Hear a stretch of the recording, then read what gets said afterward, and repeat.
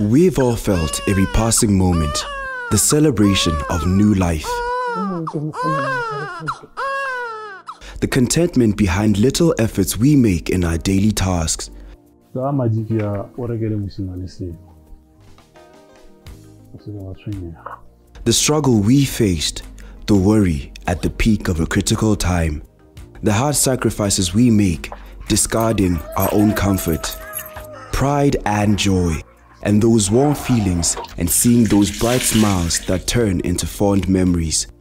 Life as we know it is not the same anymore.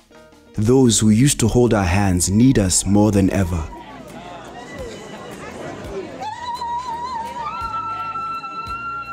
Remember, they took care of us, and now it is our turn to do the same. Protect yourself to protect them. Wear your mask. Mascom, number one, because of you.